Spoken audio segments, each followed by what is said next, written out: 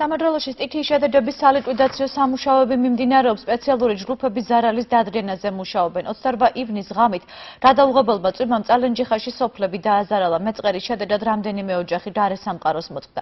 მათი გამოყვანის პროცესი უკვე დასრულებულია. ჩამოშლილია რძები წაღებულია ხიდები. დახოცილია შინაური ცხოველი და ფრინველი 3000-მდე აბონენტი ელექტროენერგიის დარეშია დარჩენილი. სრულად განადგურებულია სავარგულები და ვენახები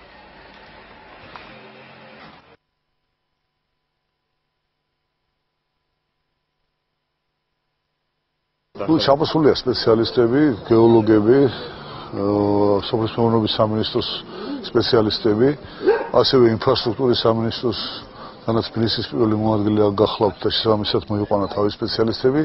ნუ ეს ყველა სამსახურები ჩამოსულია იმის გამო, რომ შევისწავლოთ როგორც გეოლოგიურად რამდენად შესაძლებელია ადამიანების შემდგომი ცხოვრება და რა უნდა გავაკეთოთ პერსპექტივაში.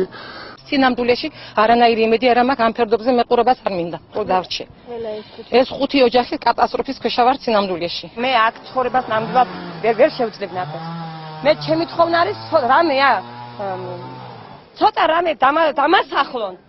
და რა ვიცი ვიცხოვრო ნორმალურად ვიცხოვრო სადმე